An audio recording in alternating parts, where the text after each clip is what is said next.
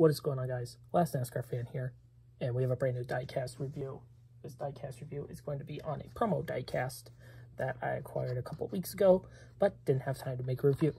So we're just going to make the diecast review happen right now.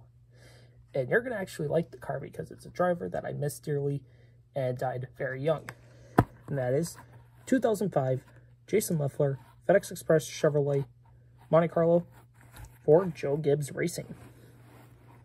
So before the days of Denny Hamlin, you had Jason Leffler, who was actually coming from the Busch Series again, as he was actually more of a good Truck Series Busch Series driver than a Cup driver.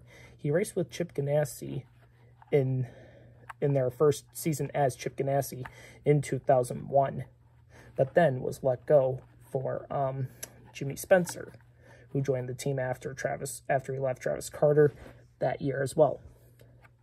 But Leffler ended up getting thrown out of the ride due to unfortunate um, performance, which a bunch of drivers would take part-time in this car, such as Terry Labonte, um, J.J. Yeley, and Denny Hamlin. And Hamlin would eventually win this ride, and Yeley would win the 18 because Joe Gibbs had no choice. But anyways, let's get the car out of the package, shall we?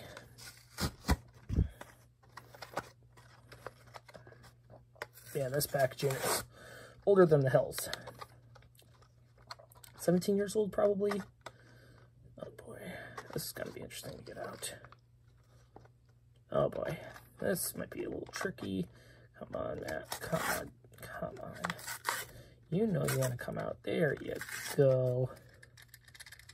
Oh, come on. Man, it's really stuck in there. Oh, dang it. God, Jesus. Okay, well, apologize for the camera falling down for a second. It's, it's still recording. But, uh, there you go. So, there's the car itself. Um, primary colors, purple, orange, and white. Got the 11 logo, FedEx Express, Chevrolet. They made the Express Ground Freight and Kinko's office promo, all available at uh, FedEx locations. So you were able to buy these at FedEx locations way back in the day. This is pretty cool nonetheless, though.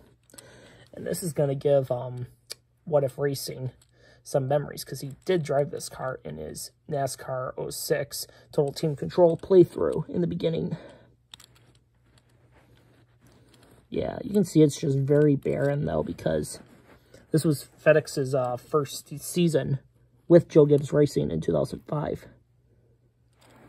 And let's just say they've been a staple ever since. But yeah, really happy to do a diecast review on this finally.